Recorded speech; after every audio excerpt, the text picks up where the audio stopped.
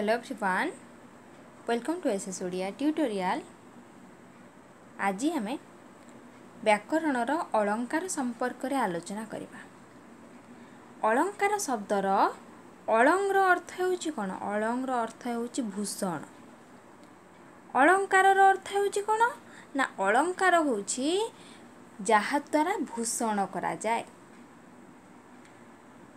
ମନୁଷ୍ୟ ତାର ସୌନ୍ଦର୍ଯ୍ୟ ବିଧାନ ପାଇଁ ବିଭିନ୍ନ ପ୍ରକାରର ଆଭୂଷଣ ଧାରଣ କରିଥାଏ।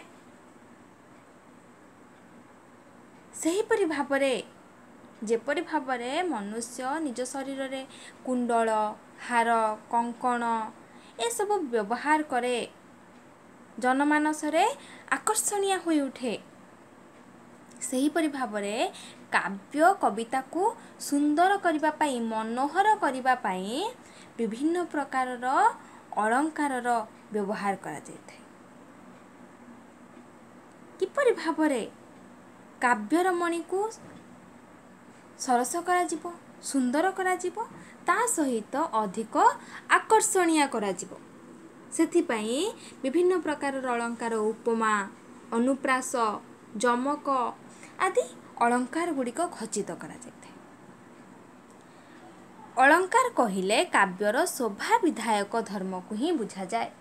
ବା ସାହିତ୍ୟକୁ ସରସ ସୁନ୍ଦର ରମଣୀୟ କରିବା ପାଇଁ ଯେଉଁ ସୌନ୍ଦର୍ଯ୍ୟବର୍ଦ୍ଧକ ଉପାଦାନ ଆବଶ୍ୟକ ତାହା ହିଁ ହେଉଛି ଅଳଙ୍କାର। ତେଣୁ କୁହାଯାଇଛି ଅଳଙ୍କରଣମ୍ ଅଳଙ୍କାରଃ। ଏହାର ପୁଣି ଅର୍ଥ କ'ଣ ନା ଅଳଙ୍କରଣମ୍ ଅଳଙ୍କାରଃ? ଏହାର ଅର୍ଥ ହେଉଛି କାବ୍ୟର ସୌନ୍ଦର୍ଯ୍ୟ ହେଉଛି ଅଳଙ୍କାର। ଯାହା କାବ୍ୟକୁ ଶୋଭାମଣ୍ଡିତ କରେ ତାହା ହିଁ ହେଉଛି ଅଳଙ୍କାର। ସାହିତ୍ୟ ଦର୍ପଣରେ ବିଶ୍ୱନାଥ କବିରାଜ ମଧ୍ୟ ଦର୍ଶାଇଛନ୍ତି। ଶବ୍ଦ ଓ ଅର୍ଥରେ ଯେଉଁ ଧର୍ମ ଅସ୍ଥିର ସୌନ୍ଦର୍ଯ୍ୟବର୍ଦ୍ଧକ ଓ ରସଭାବାଦୀର ଉପକାରକ ସେଗୁଡ଼ିକ ହେଉଛନ୍ତି କ'ଣ ନା ଅଳଙ୍କାର। ଯାହାଦ୍ୱାରା ଅଳଙ୍କୃତ ବା ଭୂଷିତ କରାଯାଇଥାଏ ତାହା ହେଉଛି ଅଳଙ୍କାର ଆମେ ମନେ ରଖିବା।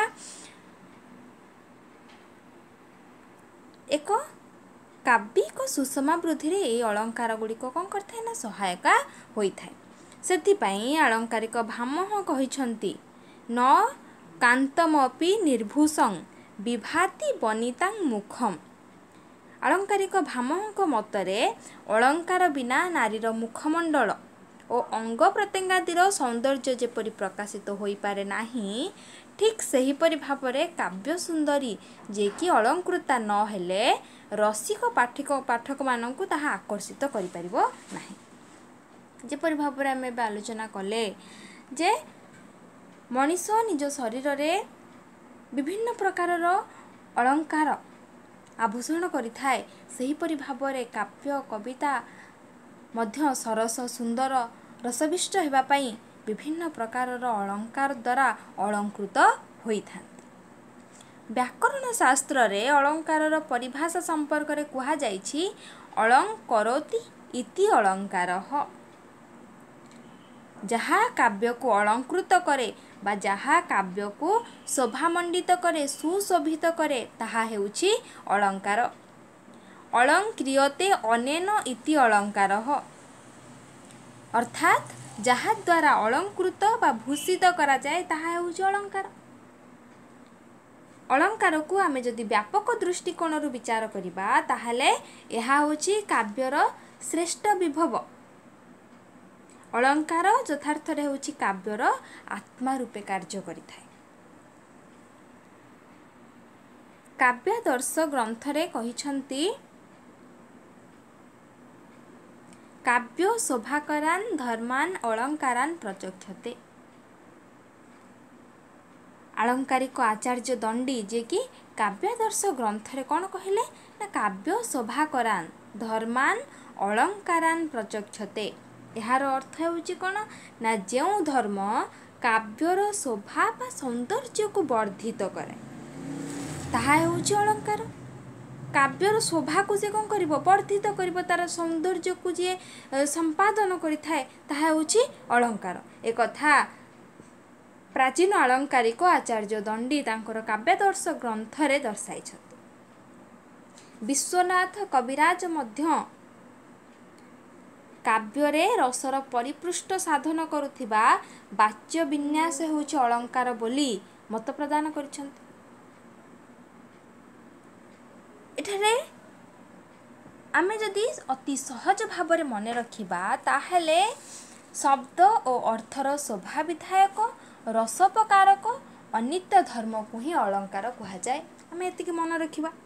ଏହି ଅଳଙ୍କାରକୁ ପୁଣି ବିଭାଗୀକରଣ କରାଯାଇଛି ବା ତା'ର ପ୍ରକାରଭେଦ ରହିଛି। ଶବ୍ଦ ଓ ଅର୍ଥର ସମନ୍ୱୟରେ କାବ୍ୟର ସୌନ୍ଦର୍ଯ୍ୟ ବୃଦ୍ଧି ହେଉଥିବାରୁ ଶବ୍ଦ ଅଳଙ୍କାର ଓ ଅର୍ଥାଳଙ୍କାର ଭାବରେ ଦୁଇ ଭାଗରେ ମୁଖ୍ୟତଃ ଏହାକୁ ବିଭକ୍ତ କରାଯାଇଛି। ଶବ୍ଦାଳଙ୍କାର ଓ ଅର୍ଥାଳଙ୍କାର।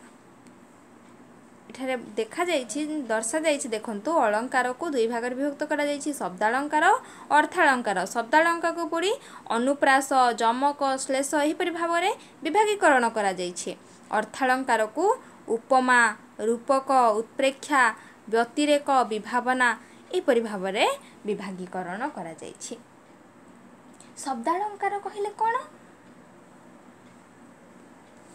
ଯାହାଦ୍ୱାରା ଶବ୍ଦଟି ସରସ ସୁନ୍ଦର ଓ ଶ୍ରୁତି ମଧୁର ହୋଇଥାଏ ତାହା ହେଉଛି ଶବ୍ଦାଳଙ୍କାର। ଅର୍ଥାଳଙ୍କାର କହିଲେ ଯାହାଦ୍ୱାରା ଅର୍ଥ କ'ଣ ହେବ? ରମଣୀୟ ହେବ ଚିତ୍ତାକର୍ଷକ ହେବ ତାହା ହେଇଯିବ ଅର୍ଥାଳଙ୍କାର।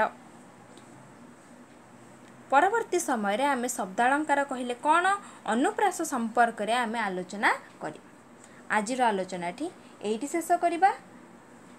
ଯଦି ଆପଣମାନେ ବର୍ତ୍ତମାନ ପର୍ଯ୍ୟନ୍ତ ଭିଡ଼ିଓଟିକୁ ଲାଇକ୍ କରିନାହାନ୍ତି ଲାଇକ୍ କରନ୍ତୁ ନିଜ ସାଙ୍ଗସାଥିମାନଙ୍କ ସହ ସେୟାର କରନ୍ତୁ ଏବଂ ଚ୍ୟାନେଲଟିକୁ ସବସ୍କ୍ରାଇବ୍ କରନ୍ତୁ। Thank you.